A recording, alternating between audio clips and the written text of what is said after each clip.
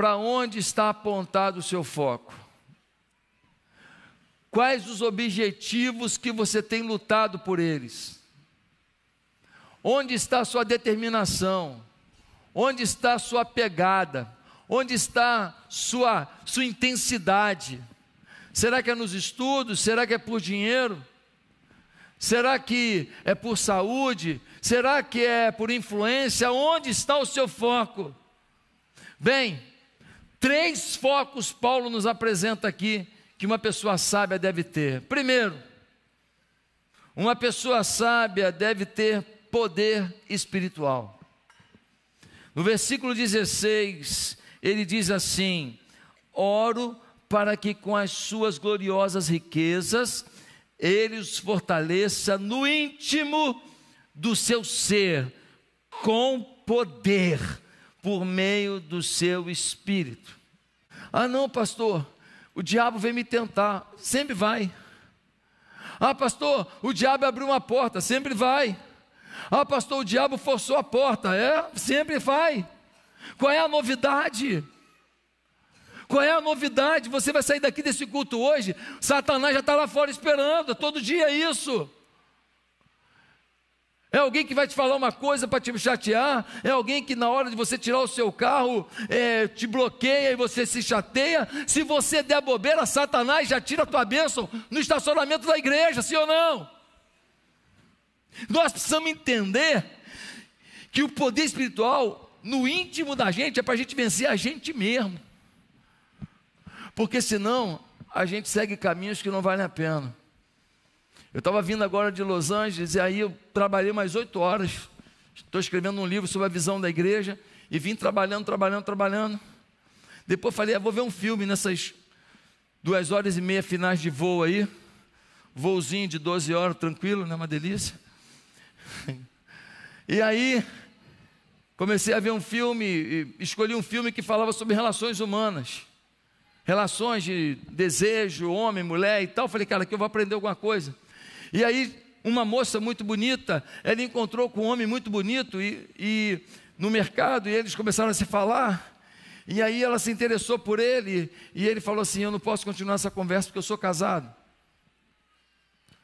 E ela falou: ah, tá bom, mas você vai poder me ajudar nesse negócio que você falou? Vou, é, não tem problema, eu te dou meu cartão. E deu o cartão. Ela foi até uma amiga dela e falou para a amiga assim: Amiga, encontrei um homem encantador. Só tem um detalhe: ele é casado. Agora, olha o que aconteceu no filme, que é o que acontece na vida real. Amiga, o homem é casado, o que, que tem? Ela falou: Mas ele é casado. Ué, eu conheço a fulana que o marido dela foi casado com outra 15 anos. Aí conheceu ela, largou a outra, eles são felizes demais. Quem sabe você está largando o homem da sua vida. Deixa eu te perguntar, é difícil alguém dar um conselho maldito desse? É difícil alguém falar uma uma uma uma macumbaria dessa? É difícil alguém expressar uma maldição dessa? Ela ouviu aquilo e ela falou: É mesmo? É. E ela falou: Ora, ah, então de repente ele é homem da minha vida. Por quê? Câmeras em mim. Porque ela pegou a exceção e transformou numa verdade. Essa história que largou tanto tempo, encontrou a outra, então, isso aí é ficção. Isso aí é exceção da exceção da exceção, que eu nem sei se tem algum caso. Isso aí é exceção. Ela pegou a exceção da exceção da exceção, transformou na verdade. Por quê? Porque o coração dela queria crer naquilo. O desejo dela estava naquilo. Então nós estamos com a mania hoje de transformar exceção em regra. Não, cara, um negocinho aqui, um dinheiro aqui, mas é só assim. Não é tão errado, não. Todo mundo faz, mas todo mundo faz, então é regra. E a gente pega a exceção e transforma em regra na nossa vida. Olha, tem uma coisa aqui que a gente faz e tal, tal, tal, e a gente consegue manipular as pessoas e a gente vende mais. Todo mundo faz. E aí a gente fala o quê? Não, vou vender mais, todo mundo faz, e a gente pega a exceção e transforma em Regra, toda vez que você pega a exceção, transforma em regra, é tua maldade que está falando. É tua maldade. Você que acreditar naquilo. Então, o poder espiritual, primeiro, é para você vencer a si mesmo, para a gente vencer nossas tentações, nossas vaidades, nossos desejos de vingança. Quantas vezes alguém nos fez um mal, sim ou não? E no fundo, no fundo, a gente torce para a pessoa se danar, sim ou não? No fundo, no fundo, dá vontade de falar o quê? Bem feito. Fala a verdade. Sabe o nome disso? Maldade.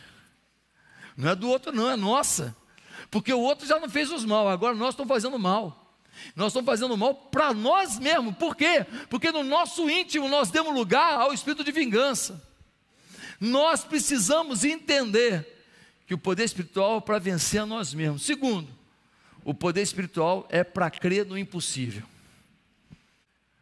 Tem gente que nos provoca, produz na gente raiva. Tem gente que nos maltrata, provoca na gente vontade de, de nem ver mais, nojo. Tem gente que tira a gente do sério. Falar de amor sem falar de Cristo agindo em nós é falar de amor restrito ao eu, amor limitado pela personalidade. Em Cristo é que descobrimos um amor para amar gente desconhecida, amar gente inimiga, perdoar a maior ofensa, agir com o cônjuge pelo amor e não pelo revide, querer ver cada pessoa cada dia mais próxima de Jesus, esse amor que transcende as circunstâncias, só em Cristo. Deixa eu te falar uma coisa. É muito difícil amar pessoas que nos ferem. É um grande desafio hoje amar as pessoas que odeiam a igreja. As pessoas que querem destruir a família. As pessoas que querem erotizar os adolescentes, erotizar as crianças. As pessoas que vêm com suas ideologias e afrontam a nossa fé. É muito difícil. Humanamente falando, é quase impossível. Mas sabe o que a Bíblia diz? A Bíblia diz que nós devemos amar os nossos inimigos. Diz que nós devemos falar bem de quem fala mal da gente.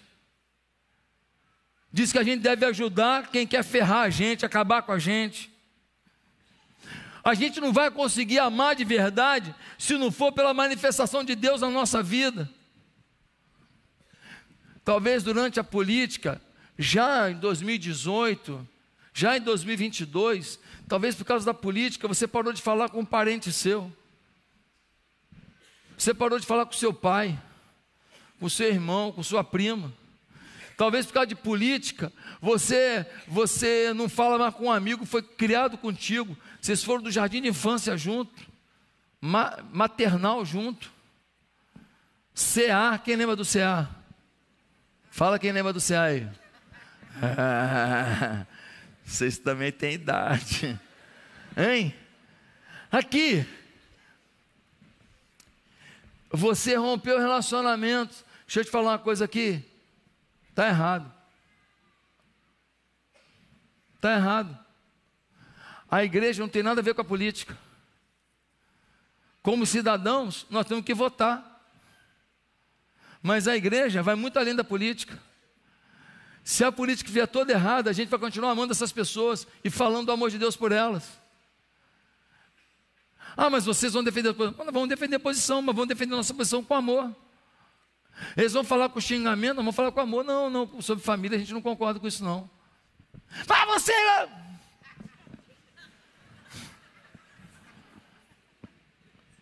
Seus fundamentalistas, Não quero te ofender, eu só creio na palavra de Deus. A gente vai ter que responder às nossas verdades, mas a nossa maior verdade é o amor. Em alguns momentos, talvez a gente não vai ter que responder, a gente só vai ter que amar.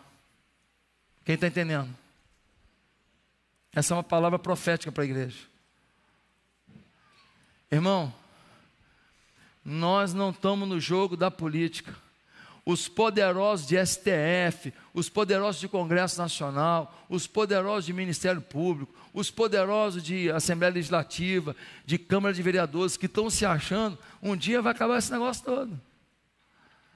Um dia Jesus vai voltar e quem não se converteu? Inferno. Ah, mas eu mandava no Brasil, eu mandava no Brasil, no quinto dos infernos tu não vai mandar não. Quem está entendendo? Como você vai odiar uma pessoa que está condenada?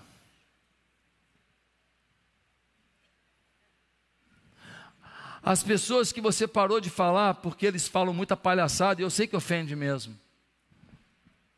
Só o teu amor pode ser retorno para eles pegar a estrada da vida. Quem pegou essa? As pessoas que você quebrou a aliança por causa da maldade, por causa do desrespeito com a tua fé, só o teu amor pode fazer o desvio da pista, o retorno da pista, para eles encontrarem o caminho para a salvação. Sem você, eles já estão condenados. Nós vamos ter que amar quem nos odeia. É isso mesmo, é evangelho. Nós temos, vamos ter que orar por quem queria destruir a gente, por quem quer ver a família ferrada, por quem quer enfiar esse vape maldito no pulmão das nossas crianças. Essa palhaçada que leva para a escola. Não tem colega que leva para a escola esse negócio? Tem ou não tem? Você nem sabe, mas tem uns colegas dele que levam essa porcaria e não faz cheiro, então eles conseguem levar na mochila essa porcaria. Quase que perdi um jovem aqui da igreja por causa dessa porcaria. Durante anos ele usou esse negócio. Na hora que veio uma infecção, quase perdi uma ovelha. Estava afastado da igreja, se voltou para o Senhor, glória a Deus. Nós estamos vendo um monte de gente na modinha, na modinha, e na modinha eles estão falando mal da gente, eles estão falando um monte de coisa, eles estão fazendo urgia céu aberto, eles estão falando os maiores impropérios, eles estão rindo de Jesus, eles estão enfiando crucifixo no ânus e desfilando na rua, como fez um movimento que ganhou a premiação de um, de um parlamentar da Assembleia Legislativa do Rio de Janeiro. Mas nós vamos ter que amar nós vamos ter que amar, porque é a única chance para essa gente se salvar. E nós somos o canal da salvação. Eu não estou falando você ser bocoió, não. Eu não estou falando você ser um bobo, não. Alguém tira o teu direito, você fala, eu sou crente, tá, pode levar. Não, você tem um direito, você pode entrar na justiça. Você tem um direito, você corre atrás. Você só não pode deixar uma luta humana, uma luta jurídica entrar dentro de você e roubar o teu melhor roubar a tua melhor versão, que é o amor. Você não pode deixar que pessoas que te afrontam nas redes sociais, pessoas que querem o teu mal, que isso roube de você o que te trouxe até aqui, quem entendeu? Você não pode perder a tua essência. Nós somos, diz o texto, alicerçados, enraigados no amor. A gente tem que ser que nem esponja molhada. Quem conhece esponja molhada? Você pega uma esponja molhada, bota aqui em cima, tirou a esponja, como é que fica o lugar? Hã? Molhado. Você finca o dedo numa esponja molhada. Fincou, o que acontece? Ela espirra água. Quando o mundo te futucar, você vai espirrar amor. Aonde você se instalar, aonde você parar, Pode te tirar, ficou amor. Você tem que ser essa esponja molhada que transfere amor aonde você passa. Amor, volta a dizer, não é ser bobo, concordar com tudo, abrir mão dos seus direitos, mas é você lutar pelas verdades, sem perder sua dignidade, sua integridade, sua serenidade, sua mansidão, sua humildade, sua paz. Jesus. O segundo foco da vida é viver uma vida dominada pelo amor. Pastor, até agora você falou tanta coisa bonita, não se aplica muito a mim. Chegou a tua vez. Você dá o melhor amor que você pode para sua mulher? É o melhor chamego do mundo mesmo? Eu estou mais chameguento de uns anos para cá. É, estou aprendendo esse negócio. Bianca está adorando. Hoje a gente estava almoçando, né? Almoçando um de frente para o outro. Aí eu olhei no olho dela e falei, te amo. Ela, sabe quando tua mulher fica envergonhada? Que você constrange ela? é uma delícia. Você chega em casa o que você quiser.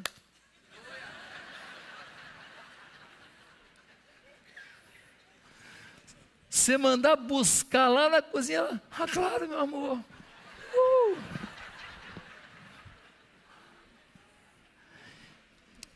Você é o máximo de amor para esse homem. Pastor, mas meu marido é esquisito.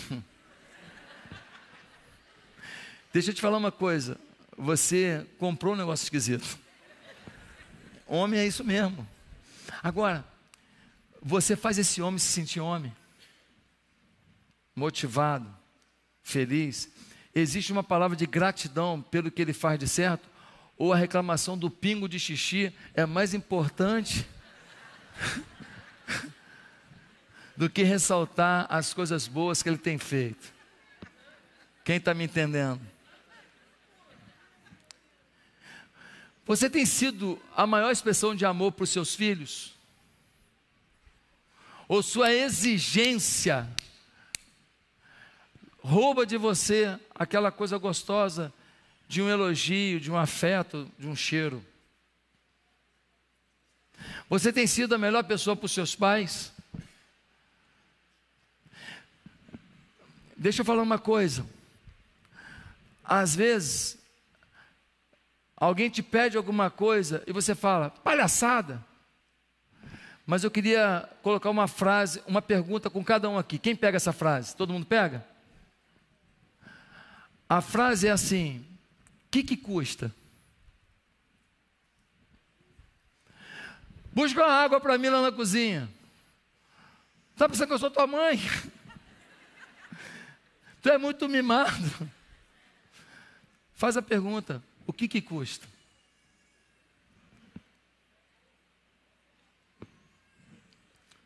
Você pode levar meu pai no hospital?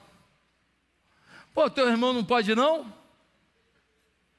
A pergunta não é essa, é o que que custa? Se o que custa vale a pena ser pago, faça. Nós temos que ser pessoas que aonde a gente chega, chegou o amor. Onde a gente anda, passou o amor. Onde a gente respira, produziu gás carbônico de amor. Onde a gente fala, vieram palavras de amor.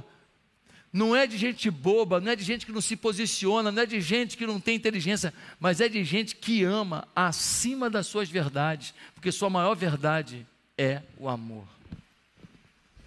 A primeira verdade que nós temos que ter na vida, o primeiro foco que nós temos que ter como pessoas sábias, é que nós temos que ter poder espiritual. Para quê? Para a gente ter vitória sobre nós mesmos e para crer no impossível. A segunda coisa, o segundo foco que a gente tem que ter é avaliar nossa vida e viver enraigados, alicerçados, dominados pelo amor, ainda que não estejam nos dando amor. Mas o terceiro e último foco da nossa vida é descobrir e viver os propósitos de Deus para as nossas vidas. O apóstolo Paulo, ele vai dizendo no versículo 19 assim: olha o que ele diz: e conhecer o amor de Cristo, que excede todo conhecimento, para que vocês sejam cheios de toda a plenitude de Deus. Pastor, ser cheio da plenitude de Deus, o grego pleroma, plenitude aqui, significa natureza divina com seus atributos, significa ser Cristo.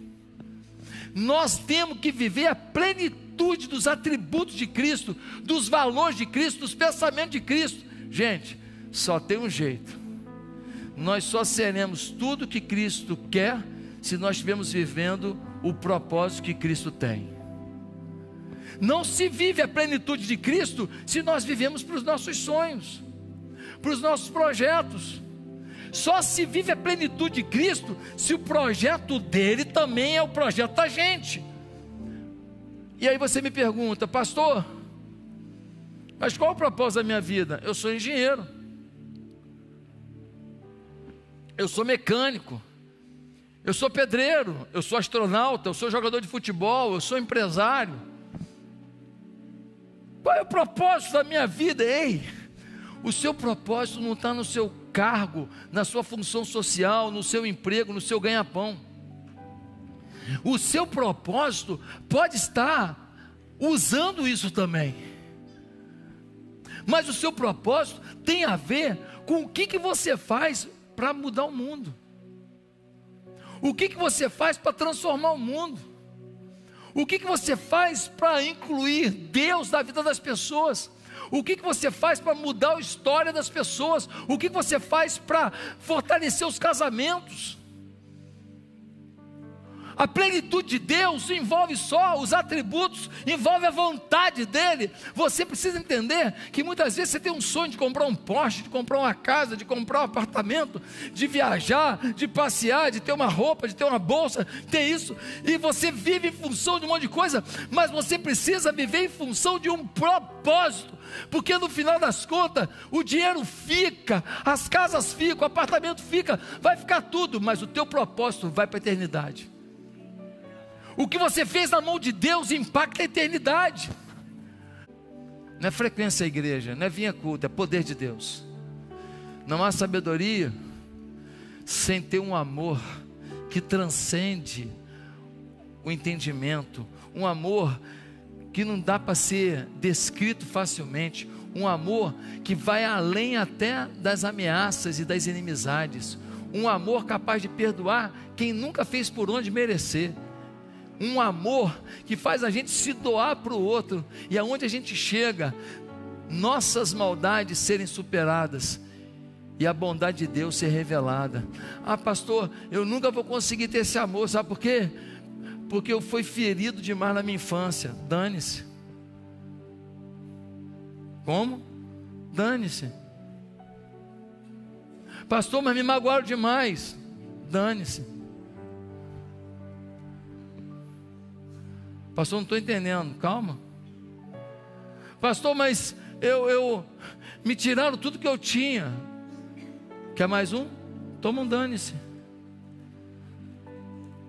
Pastor, o que você está fazendo isso? Está me magoando? Não, não estou te magoando, estou te provocando. Sabe por quê? Porque enquanto você culpar os outros para não dar amor, enquanto você culpar os outros para não ter poder espiritual, enquanto você culpar os outros para não ver o seu propósito, você não vai seguir o caminho que Deus tem para você enquanto você tiver muletas, desculpas, enquanto você arrumar culpados, você não toma um rumo na tua vida de viver o foco da tua felicidade. Então, querido, dane-se a verdade que está se danando. Você constrói a sua história com o teu Deus. Você constrói a sua história com a tua fé. Você constrói a sua história com o teu amor. Você constrói a sua história com o teu propósito. Tudo debaixo do Espírito Santo de Deus. Que Deus nos abençoe. Amém.